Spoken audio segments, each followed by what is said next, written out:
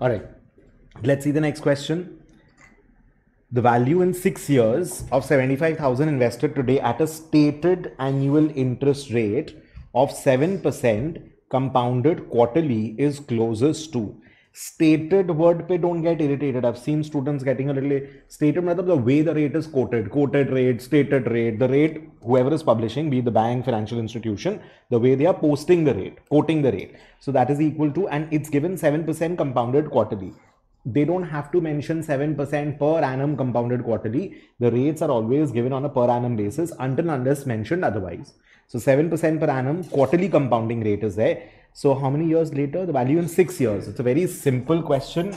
So zero, seven years, you're investing how much? 75,000, huh?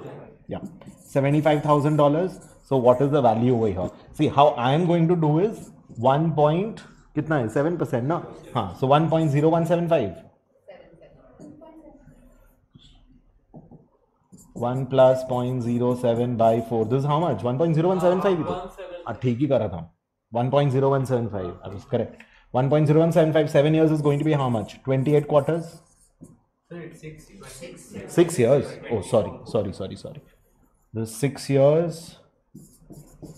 so twenty four quarters so this is going to be twenty four in two seventy five thousand is your answer और if you want P V N sorry 1.75 not 0.0175 I by Y PMT is nothing and you compute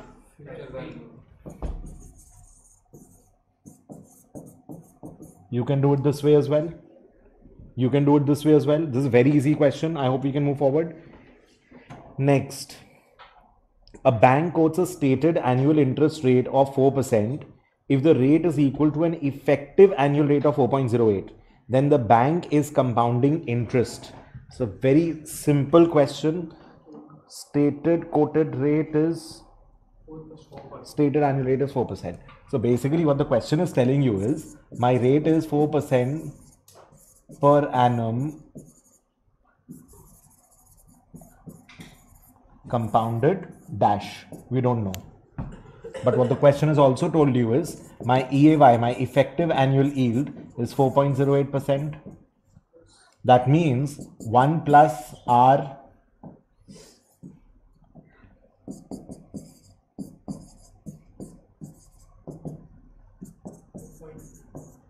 I can write it this way.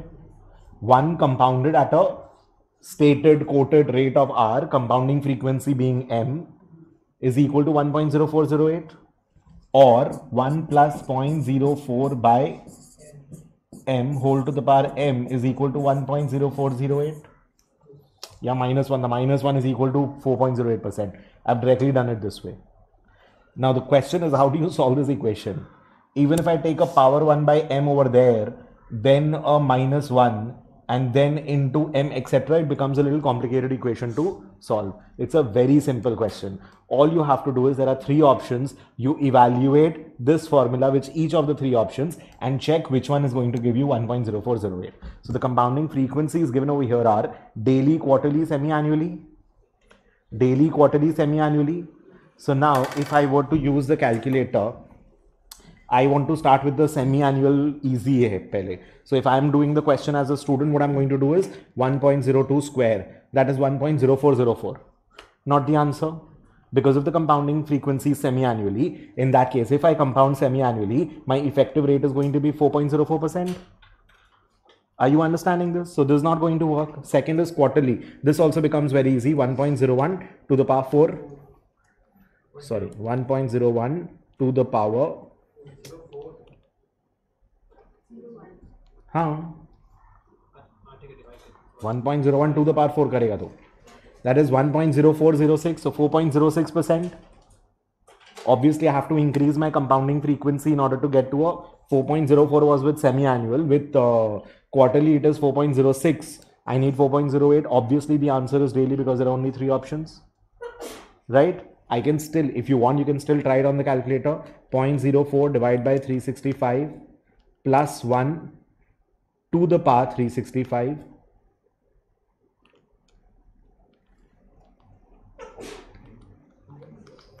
Your answer is 4.0808%. 4.08%. 4.08 or 081%, whatever. Tell me.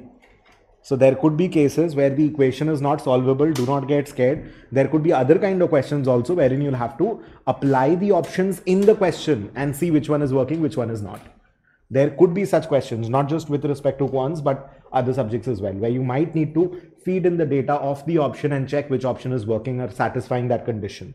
Comfortable, easy. So when you put down those tricks and all, you write down that, you know, uh, in the tricks part. You'll I've, I've, explained how to study and how to practice and all of that in your uh, in that exam entering uh, lectures of yours. So i've mentioned that you know there could be so you write down these tricks so that before the exam day you go through all these pointers before taking the exam that okay i need to there is a possibility i might I might need to put in the options in the question and then check the check which one is working. Got it? Comfortable? Next. I hope i'm not going fast I am assuming तुम लोग practice करके आए हो। Next one given a one million investment for four years with a stated annual rate of three percent compounded continuously अच्छा I am going to skip this question for now because I am not done continuous rate yet we'll get back to it later ठीक है I want to do मतलब there could be certain topics where have done a little bit ऊपर नीचे. You know have done something little later something little earlier because it is related to some other topics I want to do log normal and continuous rates together. So it will be done later. Okay? We'll skip this. Let's see. Uh, next question. A couple plans to set aside 20000 per year in a conservative portfolio projected to earn 7% a year. Per year okay? So it's an annuity question it's per year now annuity question. If they make their first savings contribution one year from now annuity due or uh, annual normal annuity ordinary annuity? Ordinary. ordinary annuity because it's going to be making the first cash flow at the end of the year. How much will they have at the end of 20 years? This is very very very easy. And the rate of compounding is 7% a year. It's very easy. Pmt 20000 i by y 7 right? N is 20 compute fv correct? That's it. There is no pv so say for example hypothetically the question mentions that they have already a 5000 savings today or a 50000 savings today. In that case you'll put pv as 50000 the pv and pmt will be of the same sign or opposite sign in that case? Same sign because pv also i'm investing and pmt also i'm investing for 20 years. Fv will be of the opposite sign Okay, now I'll ask you a simple modification of this question. Let's see if you can answer. What if the question tells you 7% quarterly compounding rate? Then how do you do this question? Mind you, the annuity is still annual. So you are going to make $20,000 annual contribution for next 20 years. But the rate that the government or the bank is providing is 7% quarterly compounding rate. What do you do? How do you do this question? Tell me quickly. Absolutely. So see first of all you cannot you cannot make this 7 as 7 by 4 and you cannot make this as 80 this is wrong. Why is this wrong? Because 20000 is not getting deposited 80 times. So when i take n equal to 80 with for 4 quarters per year and 20 years 80 quarters you are not getting this 20000 invested for every quarter. The 20000 is getting invested per annum. So if i have an annuity question See, if I have a PV and FV, then I can do n equal to 80 times and all of that. That is okay. But in an annuity question, the period has to be the interval at which the cash flow is happening. You can't change that to 80. I'm not paying 20,000 80 times. I'm not investing 20,000 80 times. You cannot do that. Tell me clear, everyone. So what do I do? I need to simply, my quarterly rate is going to be, so this 20 cannot be shifted. This is, this has to be exactly this, correct? Now n is equal to the period and i by y is the rate per period. So since I have been given 1.75, since I've been given 1.75 per quarter, I need to get 1.75 or whatever, sorry, I need to get whatever rate per annum basis. So i by y has to be, this has to be converted 1.0175 to the power 4 minus 1. I will convert it into EAY. This has to be made into EAY I by Y is the rate per period. My period has to be an annual period because the contributions are made annually. The contributions are made annually. So I'll have to convert I by Y into the EAY. 1.0175 to the power 4 minus 1 is how much? 0.07185. That means 7 point. Instead of 7, it will become 7.1859. This is what I'll have to enter. And then I can do this question. So the question is going to tell me 7% quarterly compounding rate. All I have to do is I by Y has to be converted to EAY and I'm through. And I can do this question exactly as it is. Tell me, got it? There's no other way to do this. Comfortable, everyone, understood? So understand, think of the kind of variations that's possible with a question. Next one.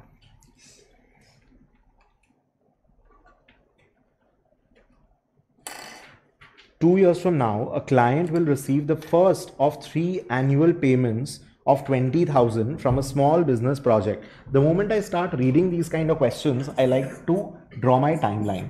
Two years from now is time to, I'm going to start receiving from two years, I will receive the first of the three annual payments of 20.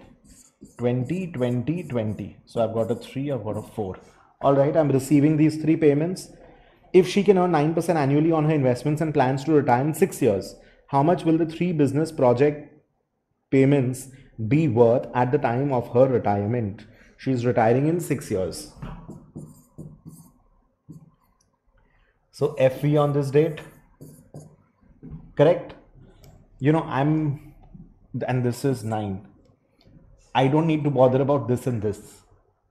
All I have to do is PMT 20, I by Y is 9, N is equal to 3, compute FV. When will this FV be calculated? At this time, I need to take this value at time 6. It is 6 years from now, but I don't care the ending annuity is going to give me the FV as on this date, right? It doesn't matter whether I start from time 0 or time 1. I'm not calculating PV. Now, had I calculated PV, my answer would be here. Then I had to discount it over here. But I'm not calculating PV over here. So I don't need that. So all I need to do is to take the cash flows over there is 1.09 square. That is the answer you will very often find solutions and all in books and all or uh, wherever given that you take this as PV now, then 9 as I by Y, then again compute FV n equal to 2. Hey, PV FV, there is a single cash flow I have to take anywhere now. I don't like using this PV FV format. It is a big time waste. If I have to take a single cash flow from here to here, here to here, here to here, I'm not going to be using N, I by Y, PV, PMT, FV again. It's a waste of time. I can simply compound and discount. For annuity, of course, I'm going to be using the TVM functions. Tell me, comfortable? So this is going to give you your answer. Calculate. Hmm, bolo. 77894.21. Point? 894. Point 21. Is that the answer? Book answer भाई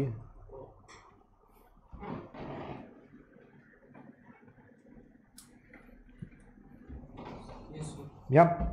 In case you decide to use a BGN mode, this is with ending mode. In case you decide to use with a BGN mode, all that you have to make it, all that you have to do is compute FV into 1.09. Because if I'm using the beginning mode, my FV gets calculated at time 5.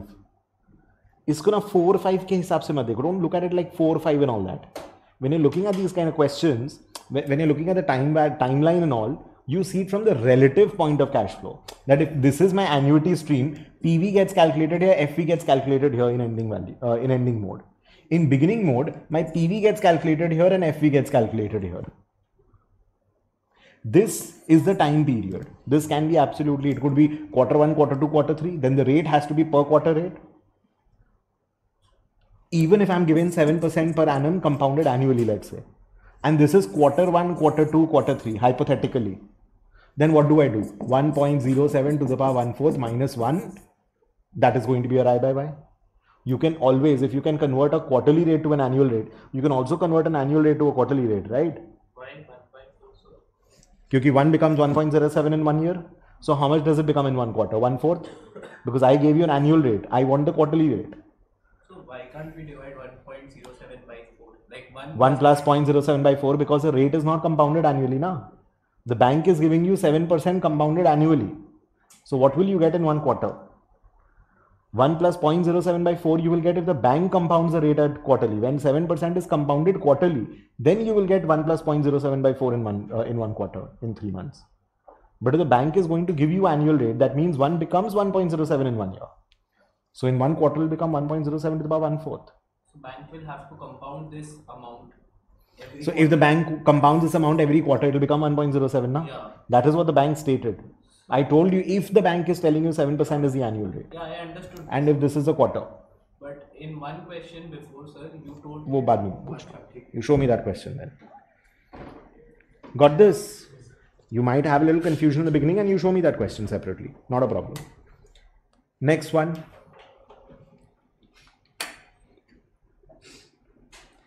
A saver deposits the following amounts in an account paying a stated annual rate of 4% compounded semi annually. Okay, this is that kind of question only. At the end of year four, the fa- um, uh, value of the account is closest to. So you've got an end of the year deposit and you got 4% semi annual, 48710.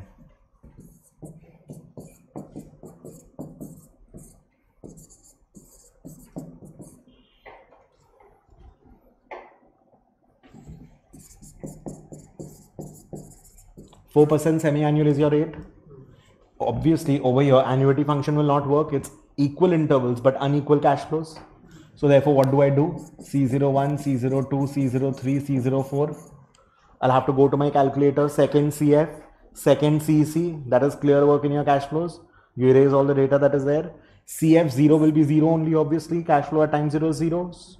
You just scroll down, C01, 2, 3, 4, you enter these things. I'm assuming you have practiced, you've completed TVM properly with me, and you have done the calculator lecture for the same. So you ha- and you will be able to match up with the speed once you start using the calculator more frequently. So it will be normal. Don't worry. You will come you will come at par with my speed on using the calculator very soon. It's just a matter of time and practice. So we'll enter the C01234. Now, when you press the NPV button, I is equal to I you cannot enter as 4. You can't even enter as 2 because your cash flows are on a per annum basis. So I has to be the rate per period and your period is one year. So your I is going to be 1.02 square minus 1. Obviously, it will not be 0.0404, it will be 4.04. I think it's 4.04 now. We calculated in one of the previous questions, Abhi.